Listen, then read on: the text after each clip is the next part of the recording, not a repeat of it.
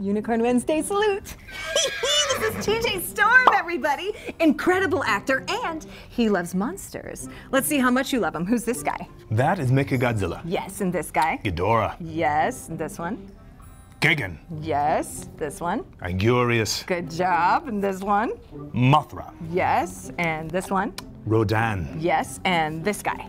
Uh, the other guy. Oh, oh. Well, you did a very good job on your quiz, but did you notice that one was missing? Yeah. Where's Godzilla?